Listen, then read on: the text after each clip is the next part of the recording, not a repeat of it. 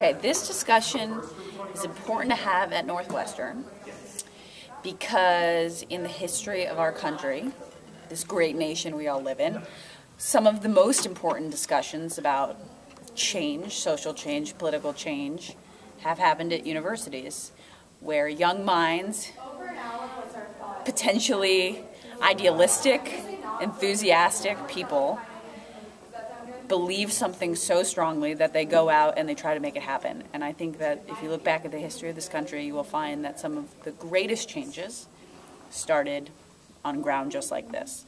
So maybe if we can do it here, we can actually have an effect, make a difference. And I am not running for any political office, but I sure sound like.